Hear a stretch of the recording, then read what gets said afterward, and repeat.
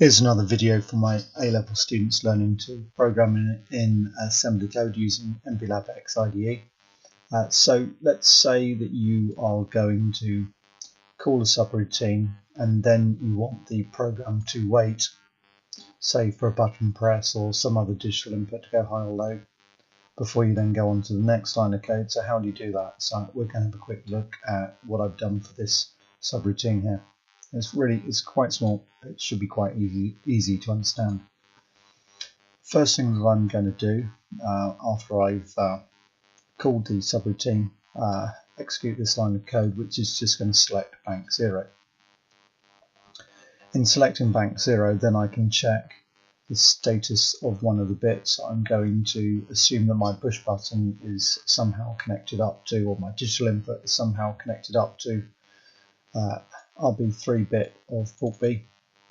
And so this uh, instruction here is bit test file skip if set.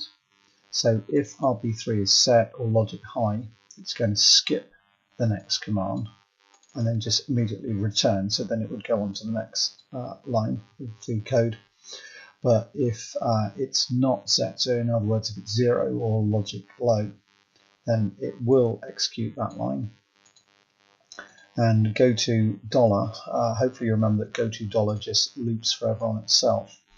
Uh, go to dollar minus one will loop to the previous instruction, so it's just going to execute that line again. And it's going to keep on doing that until um, RB3 of port B is set, and then it will skip that line, so then it will go to return. So let's uh, have a breakpoint now. Let's run the simulation. And we'll press F7 so now we've entered into that. And then I'm just just uh, actually let's just have a look at port B to start off with. Port B uh, there we go. Port B is all zeros so it's not set. So um, it's not set so it's not going to skip the next line. So it's now going to execute that line and then go back.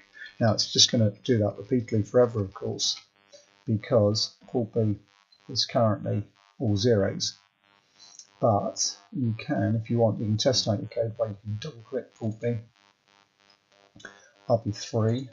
So that's this this bit here is RB0. So next one is one, two, three. So let's change that like so. I just pressed enter there. So now RB3 is actually one, logic one, logic high. So now if I then uh, this time around when it does the test, it did skip uh, because um, RB3 is set. So now it skips, so it skips the go-to that is, and so now it's going to execute the return. So now it goes on to do the next command, and then goes to the go-to there and just loops forever. And so really simple actually to um, have a, um, a wait for a button or a digital input to change state.